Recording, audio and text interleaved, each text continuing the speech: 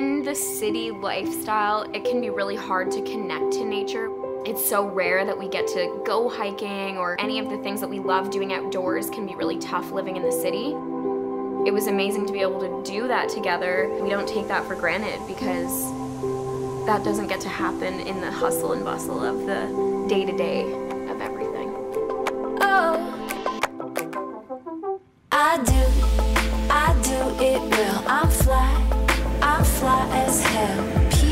say so, It's lunch. people say so. All right, babe, go in Cheers. for that blueberry pound cake. People say so, people say so. Going to New Brunswick was super exciting because the only experience I'd had there before was with my family, so I had really awesome memories there, and I was so excited to go back. I've never seen the east coast of Canada. Seeing those places on postcards as a kid and finally being able to go there and see it in real life was a magical experience. Look at all the trees, it's so pretty. And we took a really long drive, which was amazing because it was during golden hour, so the sun was setting, and we were just, you know, booking it down the highway in the Mustang, and, you know, obviously following the speed limits. Street lights, blur lines. She's trained for the vlog camera. Your hand, my cheek. I could overdose when you touch me. Zippy, Savannah, and Ash. This is where it's at, and look at this beautiful view. You're not scared anymore? I bet you he's still scared. I knew the horses would like him. High five. We Killed did it. it. We did it together. Ready for the roller coaster. The up and down excites you. This is where we're sleeping tonight. It's just so quaint and beautiful here. There's Adam and our home for the evening. It was so nice to just hang out in nature. It's so cool here. There's nothing like being able to really reconnect, and that dome was just so cute. Beautiful tub life. It's so warm and gorgeous.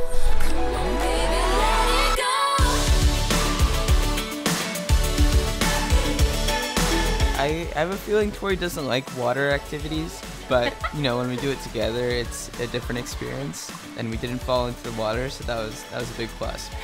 It's so stunning. And Adam's taken me for a little ride.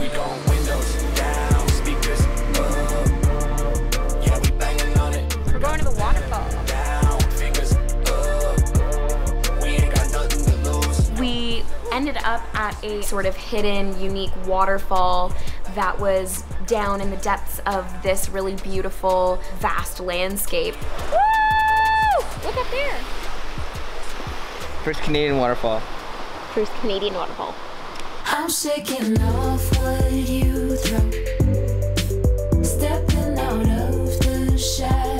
shadows. Being able to see nature one day, but then be inspired by the city the next is really important for us. We are heading on a bike ride. We're gonna go on an adventure. This is my little bike over here.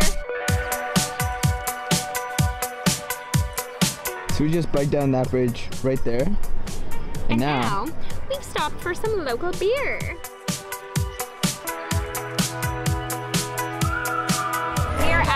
Harvest Jazz and Blues Fest. We have tons of music tonight. There are food stands everywhere, and we are going to have so much fun!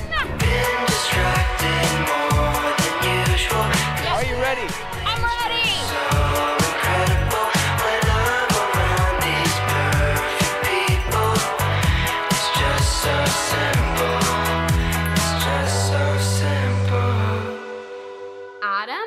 does not like to dance. However, that is not true. I Okay, am I am an A plus dancer. Oh, that. Mm, so we have differing opinions on his dancing. I think no matter what, we're not embarrassed to just have a good time. So we stood up. We were definitely feeling the groove and having a really good time.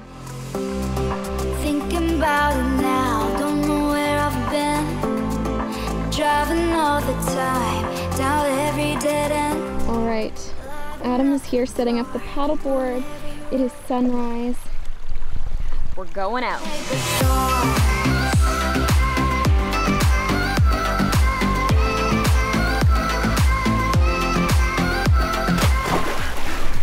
toe in the water is too confident. in life, being able to experience both nature and the city is so important. So it was amazing in the last few days that we were able to combine both and experience both to a really full extent.